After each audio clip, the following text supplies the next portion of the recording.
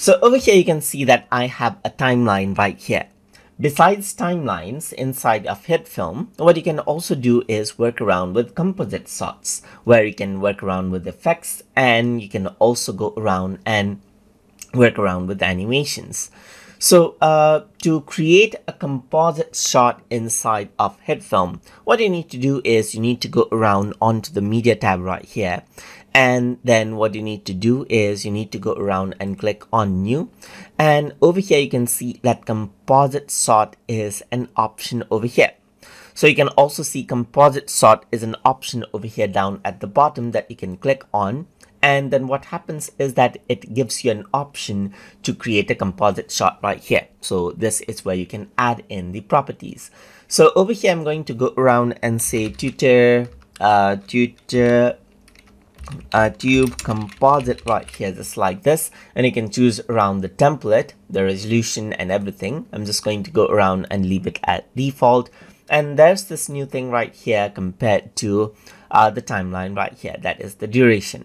So in composite shots, um, uh, it's usually shot in length and um, uh, since it's for effects and small animations, um, uh, what you need to do is you need to define out duration as well. So let's just say I want to define it for five seconds right here.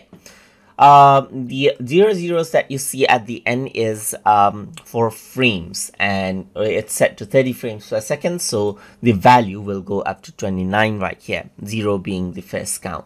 And if it is set to, let's say, for example, 50 frames per second, then what happens is that uh, yeah, uh, 59, um, uh, uh, 49 will be the last value right here. You can also define the um, uh, the uh, width and height of the video right here uh, and make it custom as well as you can see. But let me just go around and set it to the default that is uh, 1080 full SD at 30 frames per second. You can choose around the aspect ratio over here as well. And you can also go around and select advanced. One of the things that you can do is simply click on match timeline, which will actually match the resolution with the timeline that you see right here. So uh, you can also go around onto advanced and then uh, select our different options from over here but we're not going to focus on that and press ok right now over here. And there is this composite shot right here. And in the composite shot there is this timeline and you don't get the layers directly as you can see right here. But you can go around and create out different kind of layers like plane text grid, camera light and point layers right here. Like if I were to select plane then you can see that there's this layer right here that I can work with and you can work around with these layers right here. You can go around and work around with camera right here as you can see. So there's this camera and this layer as you can see right here.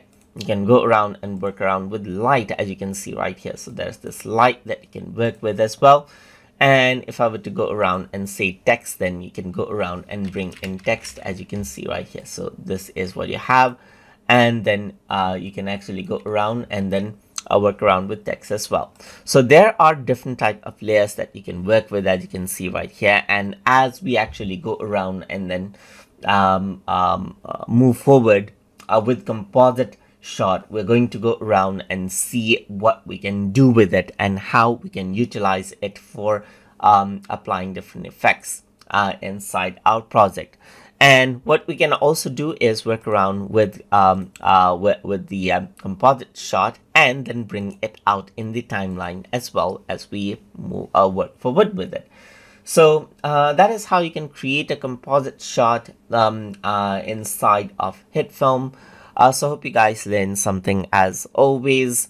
And as always, please like, comment, share, and subscribe.